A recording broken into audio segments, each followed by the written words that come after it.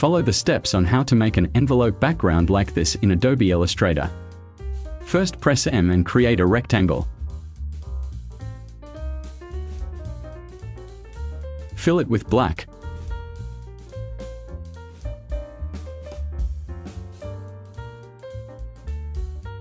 Lock layer 1 and add a new layer. Create a rectangle again with this size.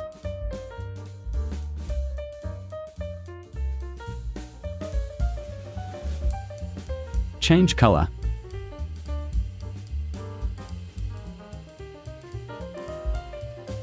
Copy.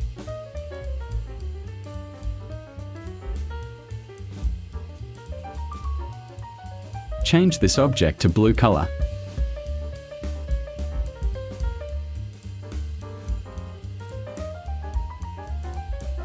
Click on this object and press slash to remove the color. Do it for this object too. Select Object Pattern and make.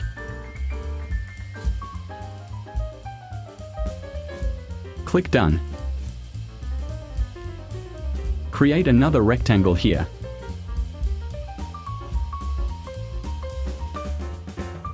Replace it with brown. Click Recolor to get a brighter color.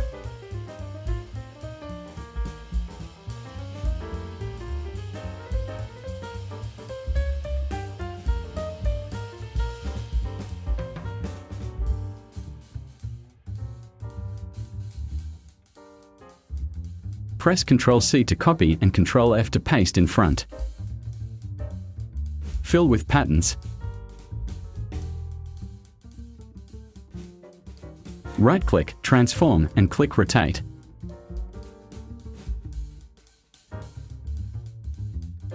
Uncheck this.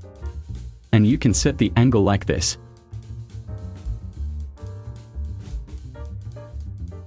Delete this. Press Ctrl F to paste in front. Go to Object, Path, Offset Path.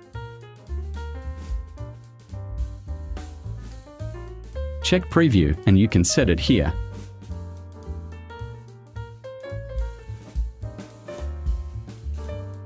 Click here and delete. Add logo or text if needed.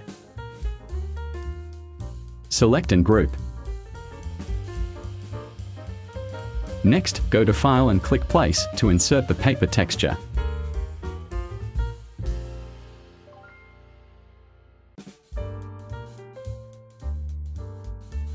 Select and press Ctrl C to copy. Prepare Transparency panel. Select Make Mask. Click this and press Ctrl V to paste the texture. Adjust the position. Click here to close editing. Finished. OK. Support this channel by clicking like and leaving your best comments. Activate the notification bell to get the latest updates from this channel. Thank you.